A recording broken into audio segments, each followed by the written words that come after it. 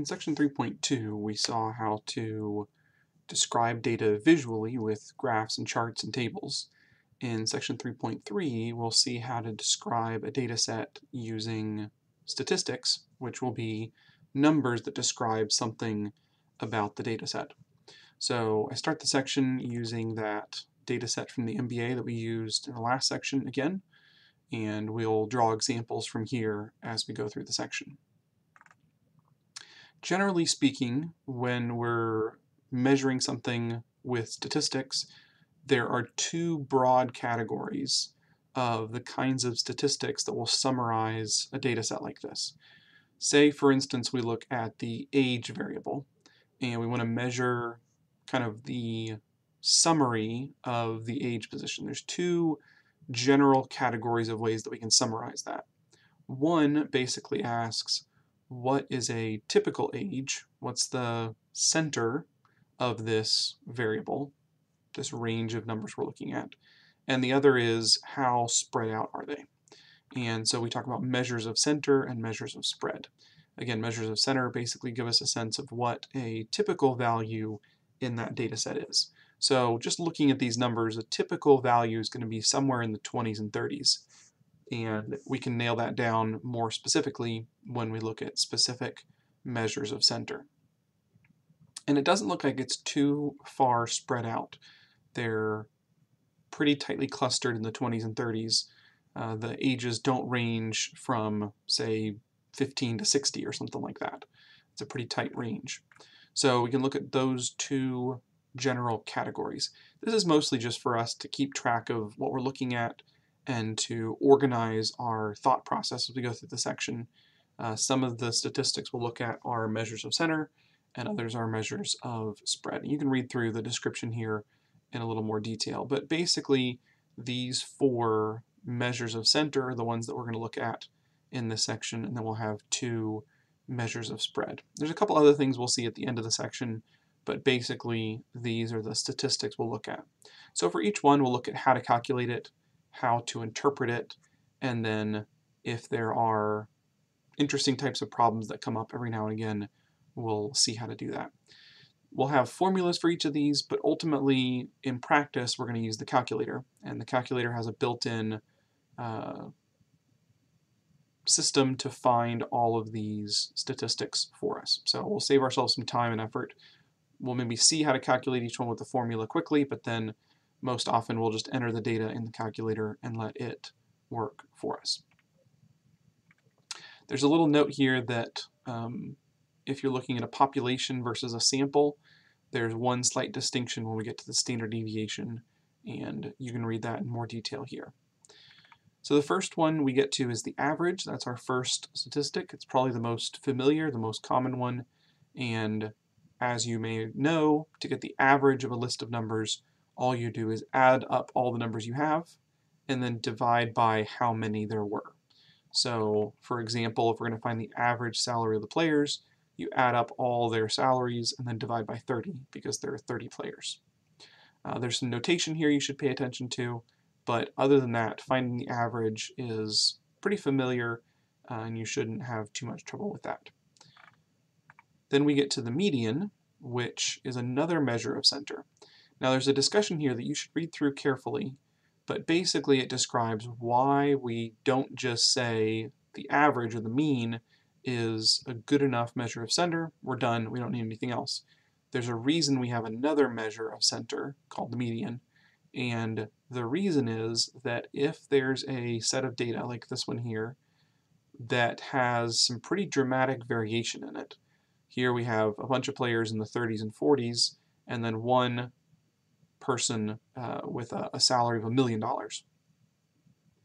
In this case, the average is going to get thrown off by this one dramatically different salary.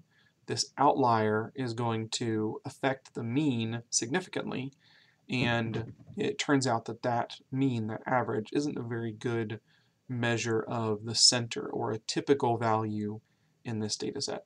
So it turns out that there are cases like this where the median is a better example, a better description of the uh, center or a typical value. And this happens a lot. If you look, for instance, at house prices in a certain area, most houses will be in a certain range, and then there will be a few houses that are much, much more expensive, these huge mansions that throw off the mean, and so you shouldn't look at the average house price, rather the median house price is more significant. Salaries work the same way. In a lot of fields, there are a few outliers that skew things, and so the median is a better measure generally of the center. But having both of them, the mean and the median, we can compare them and we can learn things like how skewed are things, how symmetric are things.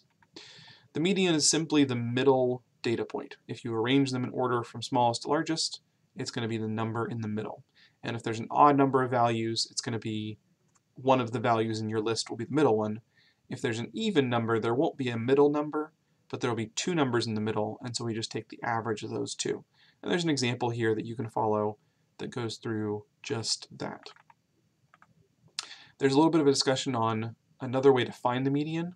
You can look at this position in your data set. If you have n data points, if you add one and divide by two, you can find out what position you're looking for. So for instance, say you had seven data points, you would take seven plus one divided by two and you would get four, and so you would count through to the fourth position, and whatever number is sitting at the fourth position would be your median.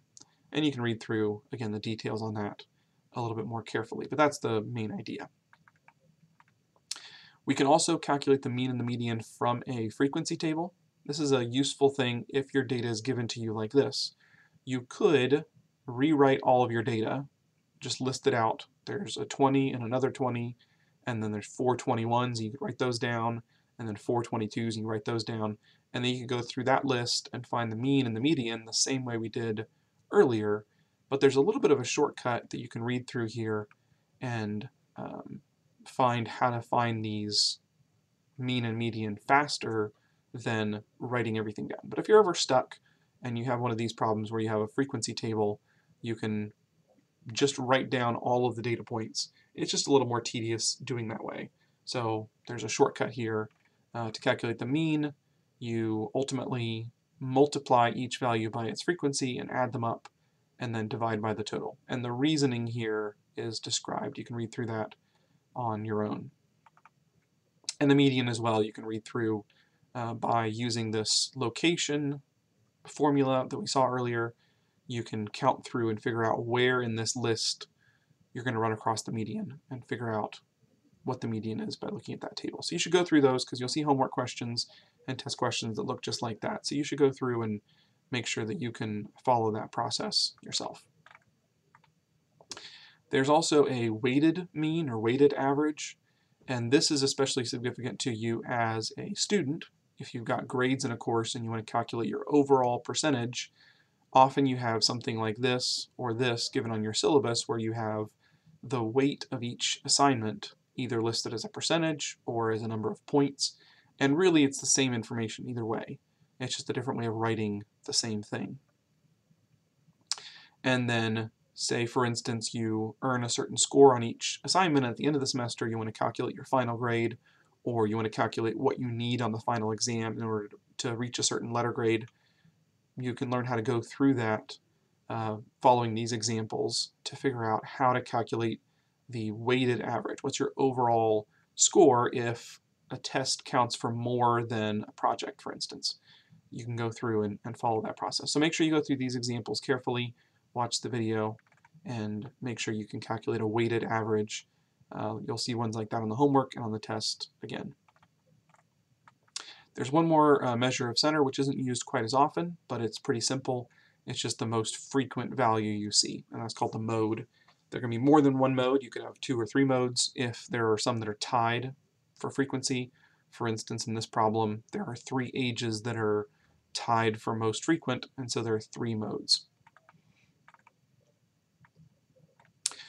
So the, that brings us to the end of the measures of center. The mode isn't quite as interesting or useful as the others, but it's one that comes up every now and again.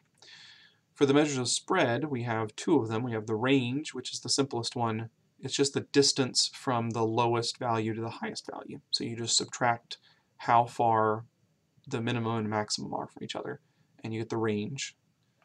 That's pretty simple to go through, and you can see that.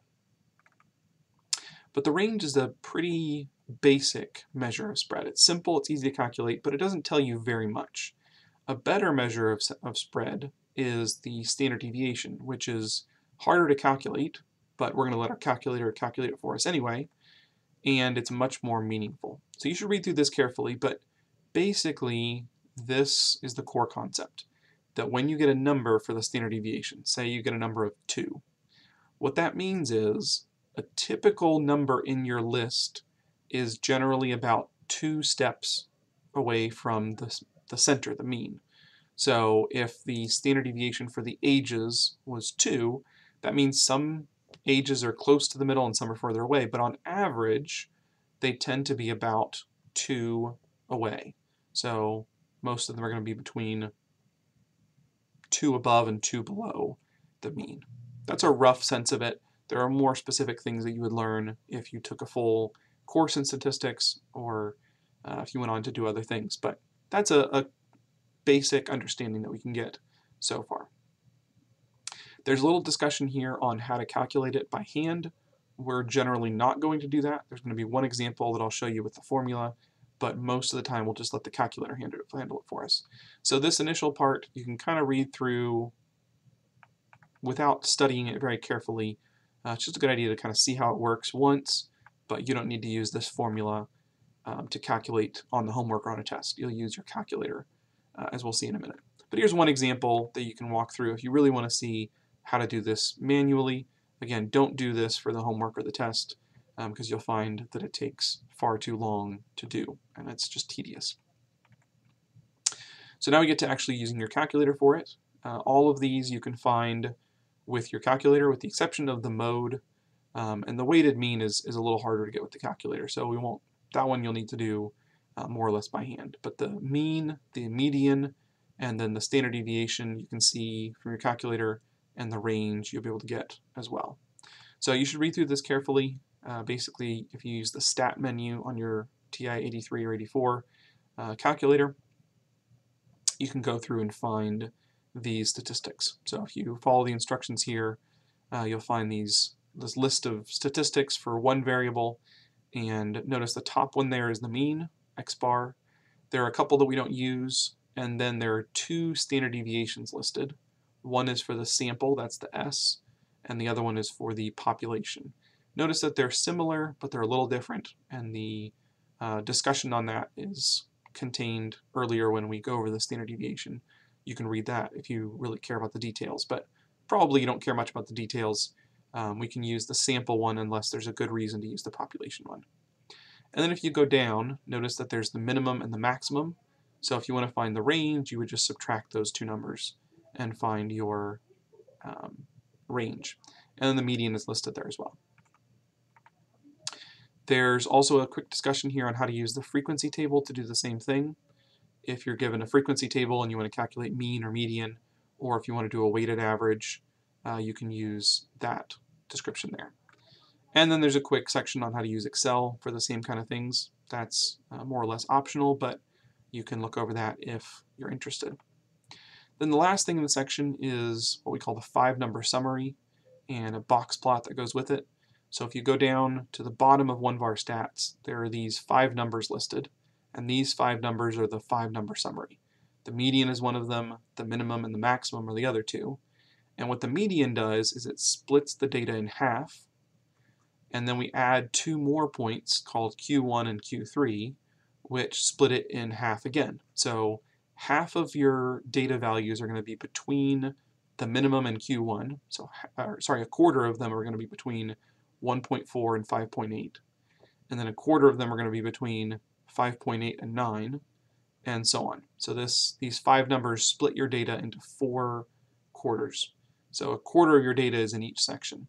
And if you know how to read this, it can tell you something about how the data is spread out and where it's a little more clustered together. So you can read through this carefully and, and list the five number summary if you need to. And then with that you can draw a visual that represents that five number summary and it's called a box plot. So here we've got this box plot drawn. Basically you've got your scale and then along the scale you mark those five numbers. So the minimum, Q1, the median, Q3, and the maximum. And then there's this convention where we connect these middle three with a box. And then we have these whiskers that go out to the endpoints, to the min and max. And basically, if you know what you're looking at, you can tell that the data is pretty clustered here between 5.8 and 9, and then it's more spread out on the upper end. So there's a good, some good information you can draw from this if you know how to read it. So you can draw this in your calculator as well, and that uh, just a visual display of the five number summary. So we won't do too much with that, but you'll see examples of that again on the homework and so on. So there's a lot in this section, uh, but you have a fair amount of time to cover this and focus on it. So make sure you go through each of those statistics and you can know how to calculate them and how to interpret them.